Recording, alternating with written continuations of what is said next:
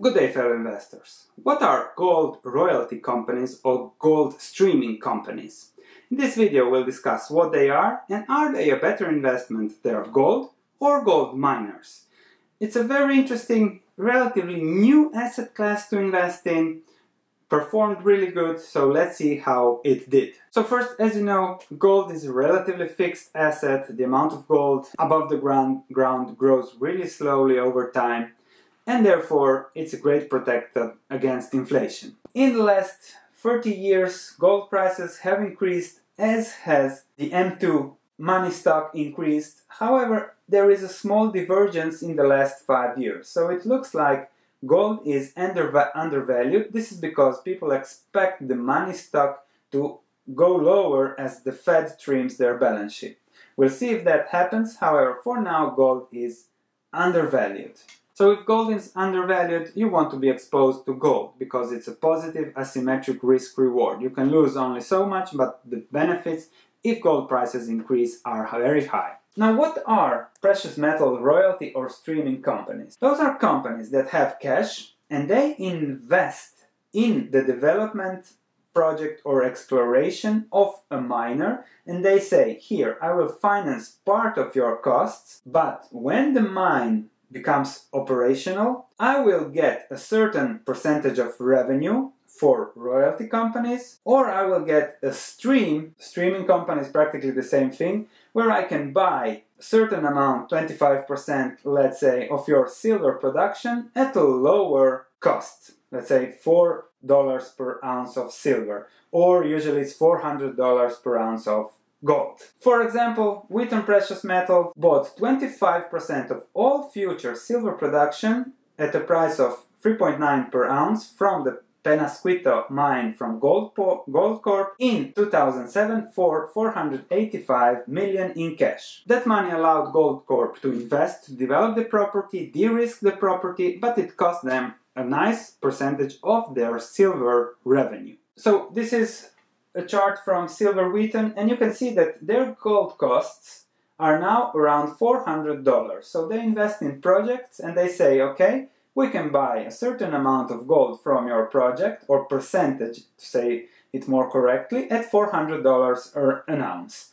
So they buy at 400 and they sell at 1200, 1250. Their margins are huge. The same for silver. So a company like a royalty company invests in a project and they say, okay, they buy a percentage of revenue of that project, whatever happens. So there are no additional mining costs, there are no exploration costs, there are no development costs. So practically the only risk a royalty company runs is that the mine is shut down. If the mine continues to work, they simply get a cut of the revenue. That's the deal. And that has worked very well in the past for gold royalty companies. The benefit is also, if the mine finds a new deposit, let's say at more depth, then also those revenues go into the stream for the royalty streaming company. So as long as the mine is mined, if the initial plan was 20 years and it becomes 100 years, for the whole 100 years, the royalty company gets its percentage of revenue. Even if it didn't have to invest anything in the development of the underground mining and so on. So that's a very great benefit. You have very high upside and very low downside because you buy your ounces at a fixed price. So when you make a deal, the deal is structured so that the royalty company has upside but limited downside. The risks for royalty companies are, of course, negative movements on commodity prices and they lower their margins, it's very difficult that they don't make positive cash flows. Then the mine can also be shut down if the mine is shut down for political reasons, no production, no streaming revenues. The third thing is royalty companies look very stable, they produce cash, they have dividends, which makes them expensive when you compare it to the rest. And then, of course, if they invest in a project and that project is not put into production, then there is no royalty. So that's also potential loss. Let's now discuss a few royalty companies to see how they work, what are they doing, and to see if they are fit for your risk-reward appetite and your portfolio. The first stock I want to discuss is Franco-Nevada Corporation, the largest royalty commodity company with a market cap of 14 billion. It owns 41 gold-producing assets, 31 advanced projects, and 135 exploration projects, in addition to 80 oil and gas projects.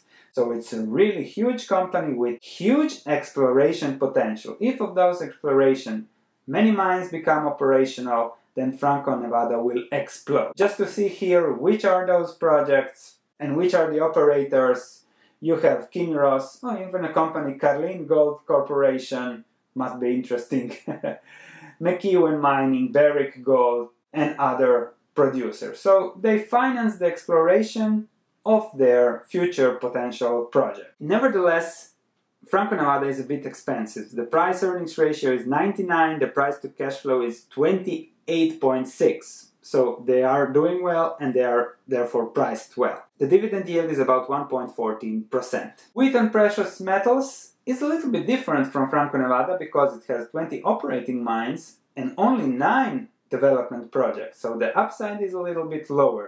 Partners you can see Vale, Glencore, Bar Barrick, Lundin, Hudbay and so on. Hudbay we mentioned, and they get, I think, a percentage of their gold and silver production. The third company I want to mention is Royal Gold that can thank in success to the Cortez mine in Nevada that has been continued on with the mining, growing, improving, and they continue to get their royalties no matter what at no cost. Another thing from to mention from these royalty companies, for example, Royal Gold has only 22 employees. So they assess a project, miners, geologists, yes, we can invest, this is the rate of return we can expect, this is the upside. That's it, they don't need, they're just a company that deploys capital and then gets the revenues from that. That's it. Simple, simple, simple but a bit expensive, so be careful about that. Let's check the performance. Since 2005, all three gold streaming companies we mentioned here have significantly outperformed gold.